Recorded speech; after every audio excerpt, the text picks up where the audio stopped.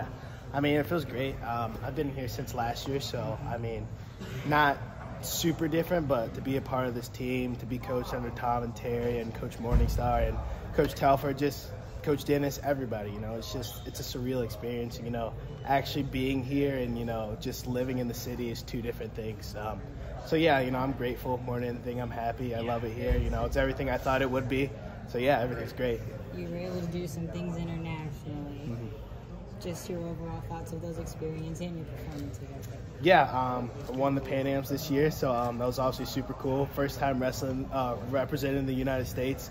Um, so it was just another one of those surreal experiences that, you know, through my wrestling and through being here, I got to experience for the first time. So I think that's just, you know, just shows that me being here that I am jumping levels. You know, things that I thought or I already knew that I was was going to happen, um, but just having that happen and you know getting ready to getting to represent the United States and you know just to perform the way I did and you know look as good as I did while doing it. You know, it's just one of those things. It's just like I chose the right place at the end of the day. So you know, I'm, I'm happy with how I performed out there. It was a great time. You know, being out of country and getting to compete. And so yeah.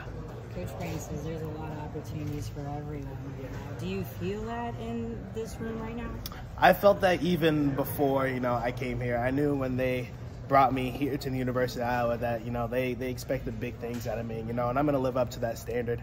Um, so yeah, you know, I definitely feel that you know, even not even just for me, for everybody on the team, that there are you know big opportunities and every guy. Something that coaches, Coach Brands reminds us of every day that everybody needs to be ready, no matter what duel, whether we're wrestling Penn State or Cal Baptist, it doesn't matter. You know, everyone needs to be ready. Everyone needs to be on weight. Everyone needs to be on their A game. All of that, you know. So he constantly reminds us of that. You know, I truly and uh, definitely do believe that to the heart. So. What's been the biggest transition since uh, you know working out here.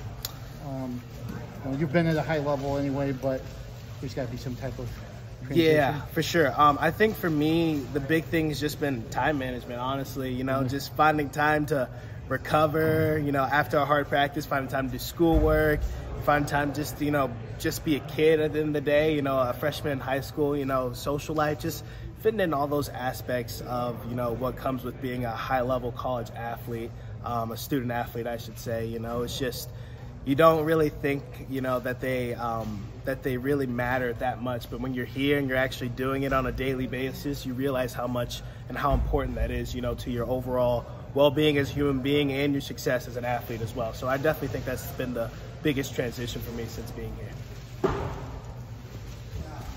For one thing.